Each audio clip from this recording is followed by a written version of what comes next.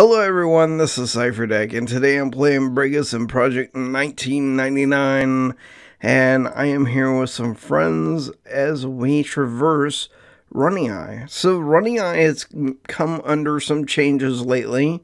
They added new mobs, they changed the faction in here, it seems like, and um, we're getting, we're getting plat. I mean, we're getting good money down here. So the one thing that they definitely changed, and you'll see all over the zone now, are fungus-looking mobs, like the ones that you would see in Upper Guk. The ones that you don't touch in Upper Guk, you know what I'm talking about? they, uh, but here they aren't auto attack. They won't instantly aggro you, but they do add to each other. So if you attack one and another one is close by, they will add on to you and add on to you and so on until you have five mobs whenever you're originally trying to just pull one.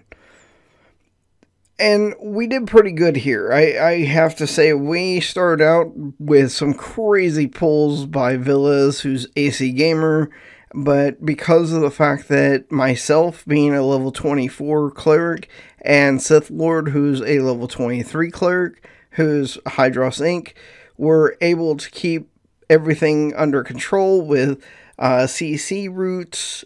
I think Sith Lord was doing some side heals while I was doing main heals. The whole thing, we just worked well together. One thing that we did have problems with was the pet. We actually talked about it a little bit, how the pet anchors the mob where they are. So I don't know if you've ever noticed this or had this problem, but if you have a person who has a pet in your group and they don't know when to back that pet off, um, you will end up having problems where that pet locks that mob in place. It's like a root for that mob. It doesn't matter how much aggro you have on that mob, as soon as you, the human, or you, the the PC character, move back, that that pet just locks that mob down where it's at. I don't know why that's that way. I think that was resolved later on on live that that you could actually pull the aggro off the pet and it would actually come to you but we were having all kinds of problems with that. So, good thing is, is that we were all in Skype, so we were able to pull the mobs, say, to pull the pet back so that we could split the mobs, so we could uh, do some, um, do some CC rooting here and there. But we all, we ended up working well together, got everything taken care of. But the pet also, here's the other side issue, with a zone like this, uh, Upper Guk, uh, Lower Guk, or any dungeon, the pet is on a different faction or a different wavelength than the humans are.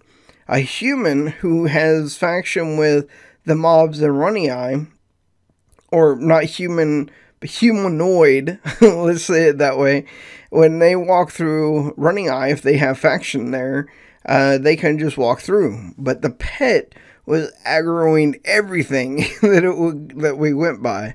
So we ended up just killing every mob, no matter if it was green or if it was blue or if it was uh, even. So uh, it slowed us down a little bit, but got us more loot because of it. Because all these mobs down here, they drop the high quality ore, which is always nice. Get that 50 plat block. Um, or get the 16 plat um, large blocks, I think is what they're called. But either way, sporali, they are hard hitting. So you don't want to come down here by yourself unless you're probably closer to that 25 to 30 range. Because once you get to that point, you should be able to handle them a little bit. But you probably want to single pull them. They, they will beat you down pretty fast the zone is really cool and the zone actually the experience is really good uh, compared to say upper guk which is really good as well. It has a really high zem. Well Runnyeye is running pretty high as well. From the time we got here to the time i had to leave which i only was able to stay about an hour Uh, I got 20% into level and I had just leveled before we came here. So it, it was pretty good for me, I felt.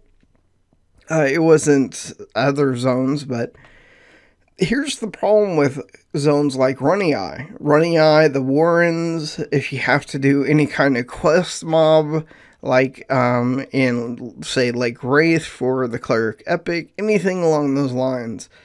These zones, well, let's let's stick to the dungeons because quests. I mean, you're always gonna have to ask people to come and help you with those, but with dungeons like Runnyeye and um, say the Warrens, Warrens level 10 to 20, uh, Runnyeye probably level 15 to probably 25, 30, maybe more.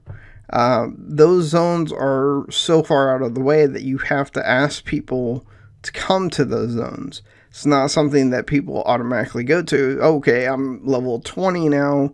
I'm going to go to um, I can go to either Upper Guk, I can go to Mistmoore, I can go to Highhold. Oh, but I'm not going to go to Runnyeye because no one's going to be there for me to get a group. So that's the only problem with Runnyeye is that you have to bring your own group. But that is also part of the fun is that you may have a group. Say this is how for us or me myself at least, whenever I was in Oasis, and we got a really good group going, we'd say, let's move this group over to Upper Guk. What you need to do is you need to take a group like that and say, let's move this to Runnyeye because you'll get the experience, you'll get more money there because it's on par with um, with Sol A as far as the blocks or permafrost or uh, yeah as far as that goes. Those are the three zones that you can get those blocks in at that level that i know of at least. But yeah it, it's so far out of the way that people have to pull other people into the zone and then they can finally see what they're missing. So it's one of those zones that i think people should definitely check out especially now that they've made the changes I think everyone should check out a zone at least once. And um, if you're uh, like Thu'um or Hydros Inc., uh, you might decide on how you like that zone by the first uh, glances. Like the first time uh, he went to Seb, he hated it. The second time he went to Seb and made money, he liked it. so that's that's just um, you have to give it a try at least once, and hopefully during that time that you're there, you will enjoy it. Though I died once, uh, we had no other deaths, and it's because we had a really good group. So, anyway, guys, that's really all I wanted to say today. I hope you enjoyed. Check out my friends Hydros Inc. as well as AC Gamer. This is Cipher Dec. Peace out.